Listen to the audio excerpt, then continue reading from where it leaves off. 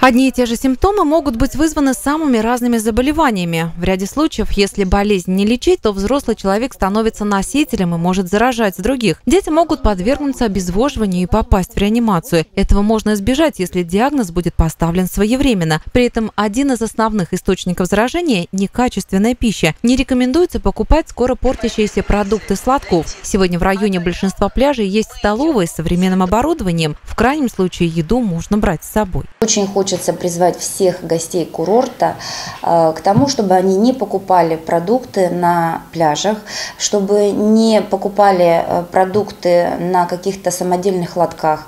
Особенно э, всегда вызывает ну, очень такое смутное ощущение мамы, которые покупают своим детям на пляже вот все, что не носят, все, все покупается. Все пирожки, кукурузу, чурчхелу.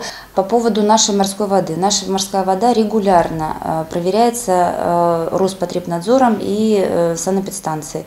Ни в том году, ни пока в этом году не было выявлено никаких патогенных микробов, которые были бы опасны для здоровья отдыхающих.